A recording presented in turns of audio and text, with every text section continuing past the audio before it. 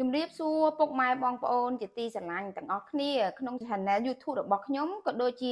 Page Facebook អញ្ចឹងណាបងប្អូនការធ្វើណែមសាច់ជ្រូកហ្នឹងបងប្អូនអត់អាចញ៉ាំឆៅបានទេណាត្រូវការឆ្អិនអញ្ចឹងបងប្អូនអាចយកទៅចៀនក៏បានអាំងក៏បានអញ្ចឹងมันបានណាខុសពីណែមត្រីណែមត្រីបងអាចបងប្អូនអាចញ៉ាំឆៅបាន មុននឹងការចាប់ដើមធ្វើនាងខ្ញុំក៏សូមពឹងបងប្អូនទាំងអស់គ្នាឲ្យជួយ like ជួយ subscribe នៅ Channel YouTube របស់នាងខ្ញុំក៏ដូចជា Page Facebook របស់នាងខ្ញុំមួយផងណាបងប្អូនណា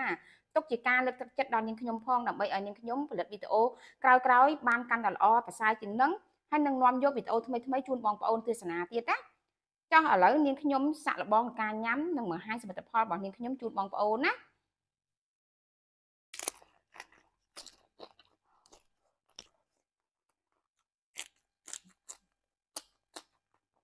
ឥឡូវខ្ញុំមានសាច់នេះគេច្រាមហើយគឺចំនួន8ខាំវាស្មើនឹង800ក្រាមណាបន្ទាប់មកនេះខ្លាញ់ជ្រូករបស់ខ្ញុំ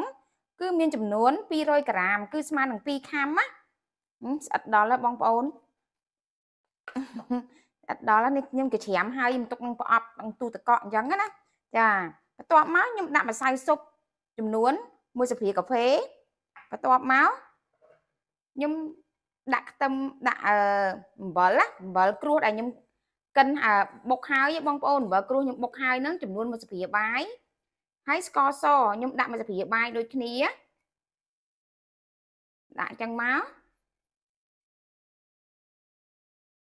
បន្ទាប់មកគឺបាយបងប្អូន បាយសយើងធម្មតាបាយយើងញ៉ាំហ្នឹងណាគឺ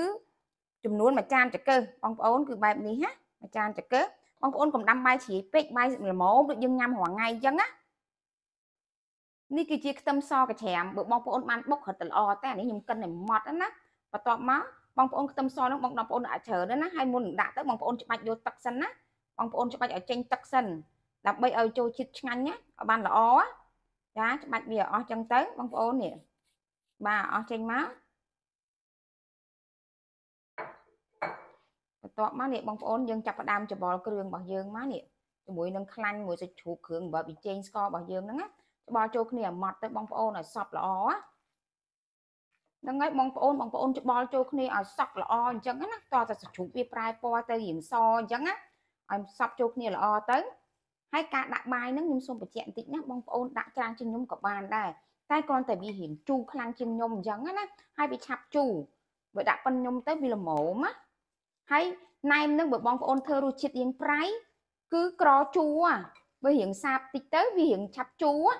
ហ្នឹងក៏ដូចគ្នាផ្សំផ្សំគ្នាបងប្អូន ចាឥឡូវសពហើយយើងចាប់ផ្ដើមយើងទុកម្លាយសិនមកយើងយកឧបករណ៍មកចាប់ដើមច្រកណានៅក្នុងការធ្វើមុខម្ហូបមួយមុខនេះបងប្អូនយើងមានឧបករណ៍ទី1គឺថង់ថង់នេះខ្ញុំយកប្រភេទថង់ស្ករសគេជ្រក់ស្ករសកន្លះគីឡូខ្ញុំយកអាហ្នឹងខ្ញុំយកអាហ្នឹងទៅវាស្រួលជ្រក់ ហើយណែមយើងចេញមករៀងស្អាតតែម្ដងខ្ញុំយកអាហ្នឹងស្បោងថង់ហ្នឹង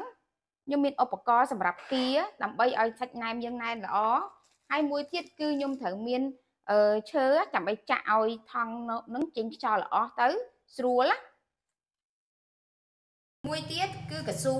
ខ្វះអត់បានទេបងប្អូនទុកសម្រាប់ចងណែមរបស់យើងណាតោះឥឡូវយើងចាប់ផ្ដើមច្រកណែមរបស់យើងចូលក្នុងថង់ ឥឡូវខ្ញុំចាប់ផ្ដើមច្រកចូលថង់តែម្ដងណាគឺខ្ញុំកន្លោះថង់នឹងចូលមកអញ្ចឹងមកនេះបងប្អូនខ្ញុំកាច់មាត់នឹងជា2មកឃើញទេ1មួយតង់ពីរតង់ធ្វើកុំឲ្យវែងពេកវែងពេកពេលណាយើងច្រកសាច់ចូលទៅវាប្រឡាក់មាត់ថង់វាអត់ស្អាតវាអត់មានអាមើលទៅអត់ស្រូវមានអនាម័យវាអត់មានសោភ័ណភាពអញ្ចឹងខ្ញុំបត់វាជា2អញ្ចឹងមកបន្ទាប់មកខ្ញុំដួសសាច់ណែមរបស់យើងសាច់ជ្រូករបស់យើងដែលប្រឡាក់មិញហ្នឹងចំនួន2ស្ព្រាបាយចេះអញ្ចឹងមក បងប្អូនកុំដួសកំប៉ុងកំប៉ុងពេកដួសមក2ស្ព្រាបាយមកល្មមអញ្ចឹងណាប៉ានេះឃើញទេពេលណាណែនពេកក៏ពិបាកដែរបន្ទាប់មកនេះបងប្អូនបងប្អូនលេងមើលទៅប្រហែលប៉ុណ្ណឹងអញ្ចឹងណានេះឃើញទេខ្ញុំជ្រក់ហើយនេះប្រហែលមិនប៉ុណ្ណឹងឃើញទេពេលណាយើងចងទៅឃើញស្អាតហ្មងបែបហ្នឹងណាឥឡូវខ្ញុំចាប់ដើមច្រកមួយទៀតឲ្យបងប្អូនមើលកាច់មកថងហើយខ្ញុំច្រក2មកបែបនេះមក2សព្រាមកលៃតាមហ្នឹងណាបើបងប្អូនចង់មានជីងថ្លឹងឲ្យស្មើស្មើក៏បានដែរអ្នកលក់គេថ្លឹងថ្លឹងឲ្យស្មើស្មើអញ្ចឹងហើយខ្ញុំជ្រក់ឲ្យហើយសិន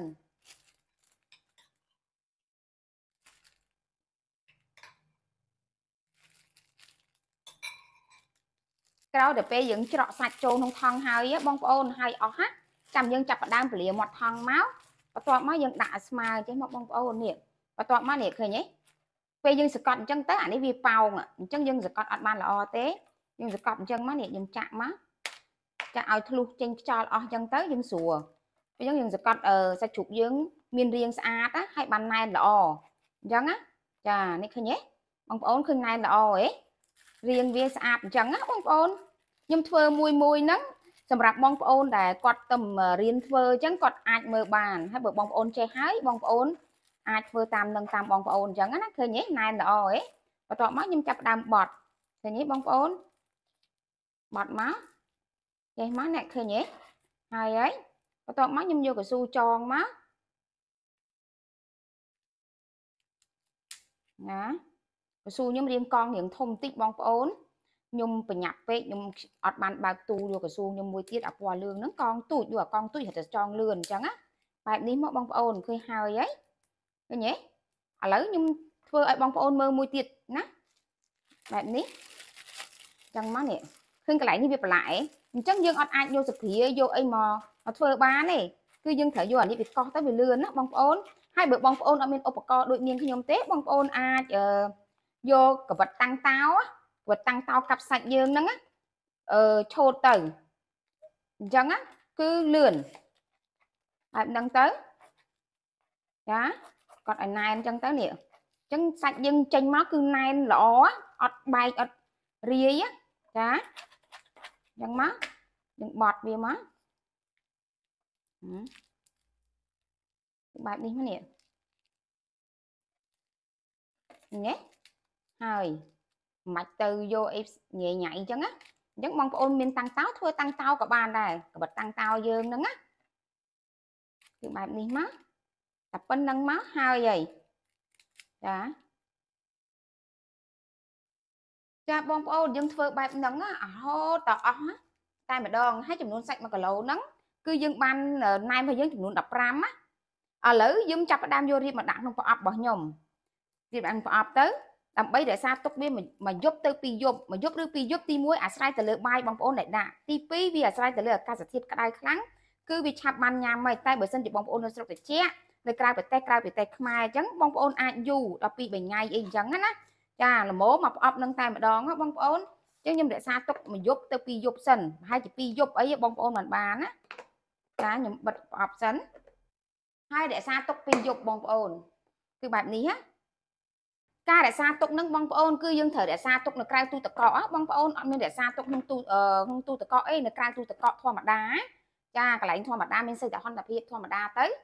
តោះបងប្អូនយើងទុកសិន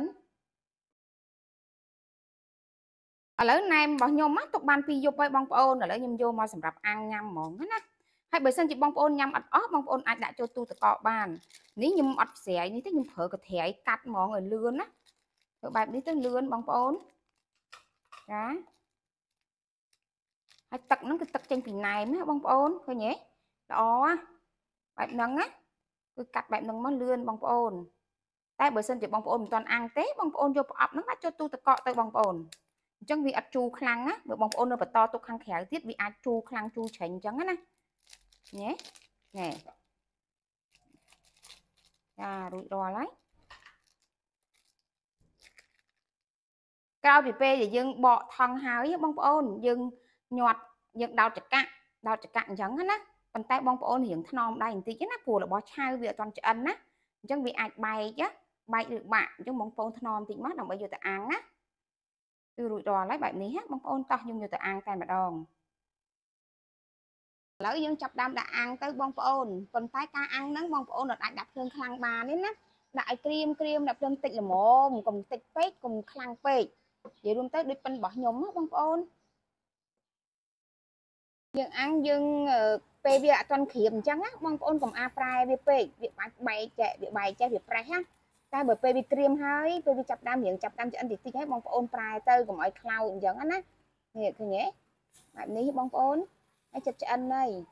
ដាក់ភ្លើងតិចតិចអញ្ចឹងណែមយើងឆ្អិនបានល្អព្រោះណែមយើងសាច់ក្រាស់ហើយសាច់ជ្រូកទៀតមិនសាច់ត្រីសាច់ត្រីឆាប់ឆ្អិនទេហើយសាច់គោក៏ឆាប់ឆ្អិនដែរតែសាច់ជ្រូកអត់ទេណាបងប្អូន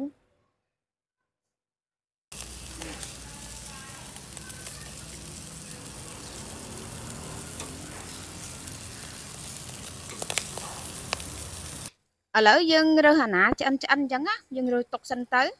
ណាមិនតាន់ឆ្អិនយើងនៅបន្តអាំងណាបងប្អូនឃើញទេវាតក់ខ្លាញ់មកវាឆេះឆៅឆៅឆៅហ្មងអញ្ចឹងតែយើងអត់ប្រយ័ត្នទេអាចខ្លោចហើយអាចឆៅទៀតយើងរៀបចំបដាបដាទៅ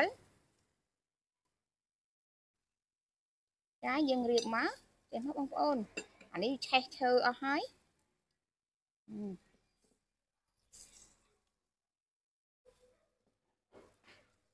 ហើយសាច់យើងឆ្អិនណាបងប្អូនហើយនេះជាទឹកត្រីកោះកុងរបស់ខ្ញុំណាចាហើយបើបងប្អូនចង់មើលឃើញថាទឹកត្រីកោះកុងខ្ញុំធ្វើបែបណាបងប្អូនអាចចូលទៅមើលវីដេអូមុនមុនឬក៏ខ្ញុំអាច link នៅក្រោយវីដេអូរបស់ខ្ញុំនាងខ្ញុំបានណាឥឡូវខ្ញុំចាក់ទឹកត្រីកោះកុងមកចំពោះបន្លែបងប្អូនធ្វើតាមការចូលចិត្តទៅនេះមានខ្ញីមានតសក់មានស្ពៃក្តោបមានការ៉ុតហើយខ្ទឹមសណាហើយនេះម្ទេសឃីវឃីវនេះនិយាយរួមទៅយកម្ទេសខ្មែរគឺឆ្ងាញ់បំផុតណាបងប្អូនឥឡូវចាប់ផ្ដើមញ៉ាំ ទៅហើយគឺនាងខ្ញុំវីដេអូរបស់នាងខ្ញុំក៏បានទៅដល់ទីបញ្ចប់ហើយនាងខ្ញុំក៏សូមអរគុណបងប្អូនដែលបានតាមដានវីដេអូរបស់នាងខ្ញុំតាំងពីដើមរហូតដល់ចប់អញ្ចឹងនាងខ្ញុំសូមអរគុណសូមគោរពលាជួបគ្នានៅវីដេអូក្រោយៗទៀត